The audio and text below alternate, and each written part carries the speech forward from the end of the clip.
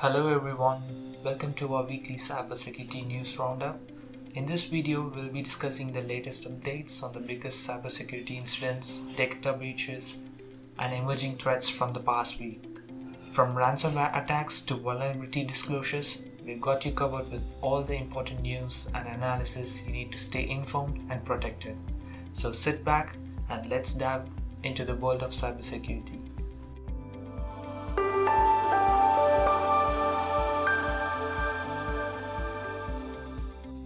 Do you ever wonder how safe your online transactions really are? As cybercrime continues to evolve, attackers are finding new ways to steal your sensitive data. In a recent development, security researchers have discovered an ongoing Magecart campaign that uses realistic looking fake payment screens to capture personal information from users. So, what's particularly concerning about this ca- new campaign is that the skimmer used looks even more authentic than the original payment page, making it difficult to detect. These attacks, called digital skimming or form jacking, has been around since 2010 and primarily target e-commerce websites. The latest version of the attack involves the use of skimmer called Kritec, which intercepts the checkout process and, and displays a fake payment dialog to victims. Once payment card details are harvested, a fake error message about payment cancellation is briefly displayed to the victim before redirecting them to the actual payment page. The attackers behind the campaign are using different domains to host the skimmer, which are given similar names to suggest that they are targeting different online stores with custom models. As a result, discerning whether an online store is trustworthy has become very difficult. The rise of ransomware attacks targeting enterprise continues, and the latest threat comes from the Read the Manual cybercrime gang. Known for its involvement in financial fraud, RTM Locker has launched a new ransomware as a service operation and has started recruiting affiliates to join its criminal activities. What sets RTM apart from the other ransomware gangs is that its organizational maturity and strict rules, which affiliates are required to follow. The group is targeting virtual machines on VMware ESXi servers, a common choice for many enterprises due to their device management and efficient resource handling. The Linux encryptor that RTM Locker uses has been designed specifically to target EXSI systems, with numerous references to commands used to manage virtual machines. The ransomware encryptor works by first gathering a list of running VMs and then terminating all of them. Afterwards, the ransomware starts encrypting files with specific file extension that are associated with virtual machines running on VMware ESXi servers. Although RTM Locker is a significant threat to the enterprise, the group is not particularly active at this time. However, this could change in future. This latest attack serves as a reminder that businesses must remain vigilant in protecting their networks and data against ransomware attacks. With the RTM Locker encryptor targeting virtual machines, companies should ensure that their VMs are kept up to date with the latest security patches and that they have implemented best practices for protecting against ransomware. Microsoft has confirmed that the PaperCut servers are being actively exploited in cyber attacks linked to ransomware families Clop and Lockbit. The company's threat intelligence team have traced a subset of these attacks to a financially motivated actor known as Lace Tempest. This actor has been observed running multiple PowerShell commands to deliver a TrueBot DLL that attempts to steal LSASS credentials and injects the TrueBot payload into the conhost.exe service.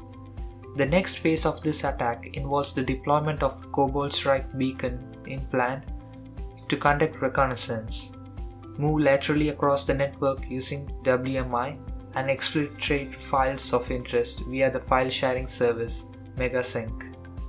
In addition, the papercut flaws have been incorporated into Lace Tempest's attack toolkit since April 13, allowing unauthenticated remote attackers to achieve arbitrary code execution and gain unauthorized access to sensitive information. This same flaws has been exploited by opportunities threat act- uh, the same flaws has been exploited by threat actors looking to deploy Monero cryptocurrency miners on infected systems. In the world of data visualization and exploration, Apache Superset is a widely used tool that helps users make sense of their data. Unfortunately, this tool has been recently found to be vulnerable to authentication bypass and RCE, potentially allowing attackers to access and modify data, harvest credentials, and execute commands. The vulnerability lies in the default Flask security key used to sign authentication session cookies. This default key can be used by attackers to forge session cookies, granting them administrative privileges to servers that did not change the key. This dangerous default configuration was found to be present in about 2000 internet exposed servers belonging to universities, corporations, government organizations, and more. While the developers of Apache have released a new version that changes the default key, Existing misconfigurations still persist in over 2000 cases. Administrators are urged to change the default key to a new unknown string to prevent attacks. It is important to note that the vulnerability was disclo- discovered by Horizon 3 team and reported to the Apache security team in October 2021. The developers of Apache Superset released version 1.4.1 in January 2022, which changed the default key and added a warning to logs when the default string was detected on startup. In February 2023, Horizon 3 contacted Apache again to raise the issue of remaining misconfigurations, and the Superset team eventually released version 2.1 on April 5, 2023, which prevents servers from starting up if they are still using the default key. While this drastic solution is a step in the right direction, administrators of Apache Superset should take note of the vulnerability and take necessary steps to protect their servers. Horizon 3 has even provided a script on GitHub to determine if an instance is vulnerable to attack.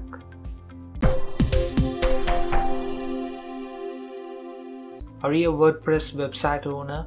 If yes, then you need to know about an ongoing cyber attack campaign that has been targeting websites by exploiting a legitimate but outdated WordPress plugin. In a report published last week, cybersecurity firm Sucuri revealed that threat actors have been using the eval PHP plugin, which allows users to insert PHP code into WordPress sites. Although the plugin hasn't been updated in 11 years, Statistics from WordPress show that it has been installed on over 8,000 websites, with the number of downloads skyrocketing in recent months. The attackers have been injecting malicious code into compromised websites' databases, making it difficult for server side scans and file integrity monitoring to detect the malware. The code is quite simple and creates a PHP script into the doc root of the website with a specified remote code execution backdoor.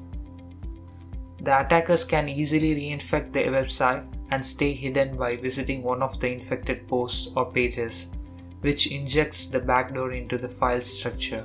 Sucuri detected over 6000 instances of this backdoor on compromised websites in the last 6 months, and the WordPress team has now removed the plugin from the repository.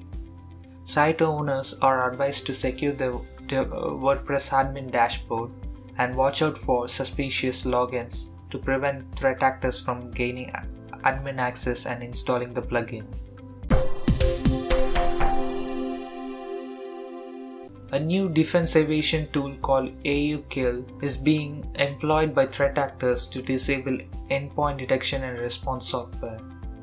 The tool exploits an outdated version of the driver used by version 16.32 of the Microsoft utility Process Explorer to disable EDR processes before deploying either a backdoor or ransomware on the target system.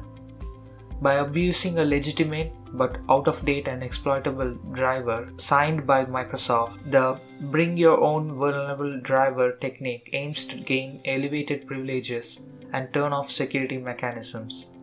This is not the first time the Microsoft signed Process Explorer driver has been weaponized in attacks, and poorly managed MS SQL servers are being weaponized to install the Trigona ransomware. The Play ransomware, known as PlayCrypt, actors have been observed using custom data harvesting tools that make it possible to enumerate all users and computers on a compromised network and copy files from the volume shadow copy service. Ransomware actors are increasingly using proprietary tools such as Exmatter, Exbyte, and PowerShell based scripts to establish more control over their operations, while also adding extra layer of complexity to persist in compromised environments and evade detection. In addition, a new Golang ransomware called Crosslock has been documented, which employs the double extortion technique to increase the likelihood of payment from its victims. The ransomware also performs several actions to reduce the chances of data recovery, whilst simultaneously increasing the attack's effectiveness. If you are a customer of Lloyds Bank, Halifax, TSB Bank, or Bank of Scotland, you may have experienced some frustration this Friday when trying to access your online or mobile banking services. Multiple customers have reported difficulties logging in, and the banks have confirmed that they are experiencing disruptions related to the online and mobile banking systems. This outage has left customers unable to access their account balances and information, which is particularly frustrating for those whose payday was Friday. The cause of the outage is currently unknown, but the banks are working hard to resolve the issue. It's not surprising that these banks may rely on much of the same server infrastructure, given that Lloyds Banking Group is the parent company behind all four banks. However, it's still unclear whether the problem is related to a system failure or a cyber attack. Despite the recent statement from a Lloyd Banking Group spokesperson that their mobile and internet banking services are back to normal, some Lloyds customers are still reporting issues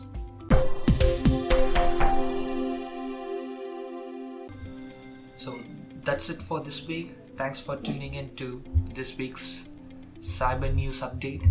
Don't forget to subscribe to stay up to date with the latest developments in the world of online security. And as always, stay safe and stay secure.